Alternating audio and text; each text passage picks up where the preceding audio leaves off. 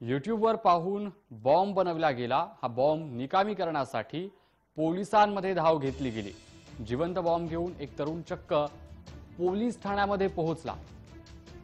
त्याच्याजवळ खराखुरा बॉम्ब असल्याचं कळाल्यानं पोलीसही हादरले. बॉम्ब शोधक आणि नाशक पथकाला पाचारण करण्यात आलं. बरेच परिश्रम केल्यानंतर तो बॉम्ब निकामी करण्यात आलाय.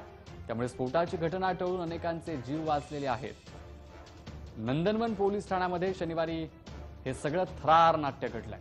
नंदनवन पोलीस ठाण्याच्या हद्दीतील साईबाबा नगरामध्ये राहुल पगाडे हा पंचवीस वर्षांचा युवक यानं हा बॉम्ब बनवला. युट्यूबवर पाहून त्यानं हा बॉम्ब बनवल्याचं कळतंय.